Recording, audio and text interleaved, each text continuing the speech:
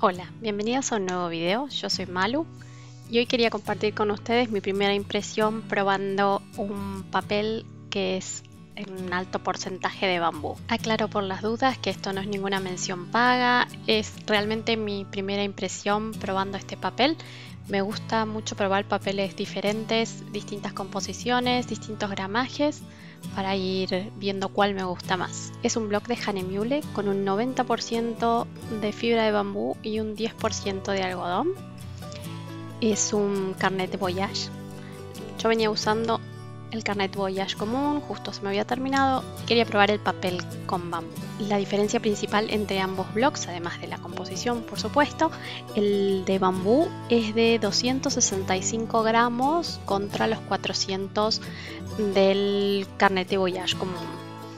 Eh, se nota bastante la diferencia, es bastante, bastante más grueso el, el común, pero la verdad es que es un papel muy lindo este de bambú.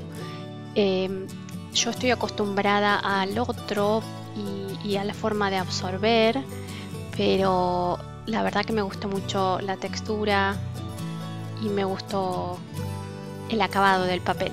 Es un bloc de mix media, a diferencia del otro carnet de Voyage que está marcado como para acuarelas. Esto quiere decir que si bien soporta el agua, no está pensado exclusivamente para acuarelas. Yo estoy acostumbrada al otro y la verdad que la forma de absorber el agua y de cómo hacer correr el color es diferente, pero me parece un papel muy bueno y para empezar creo que, que es una buena opción. Tiene una diferencia bastante importante de precio, con lo cual me parece una muy buena opción más económica de papel para usar y sobre todo el tema de que al ser de bambú es mucho más amigable con el medio ambiente. La verdad es que el acabado final me pareció muy bueno. El tono de papel es un poquito diferente, el de bambú es un poco más blanco, si bien sigue siendo un tono de blanco natural, no, no de esos blancos fuertes pero acá se puede ver la diferencia con el carnet de Voyage regular.